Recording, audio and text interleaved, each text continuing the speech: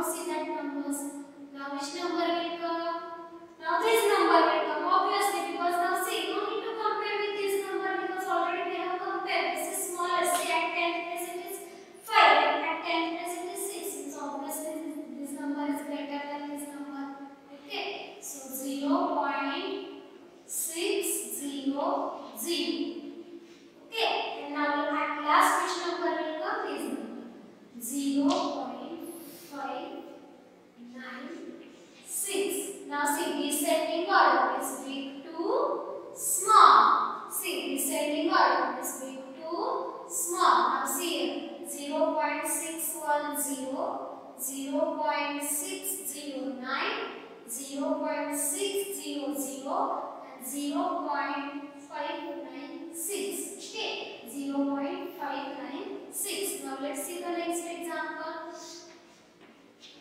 0 0.02, 0 0.04, 0 0.42 and 0 0.24. Now if you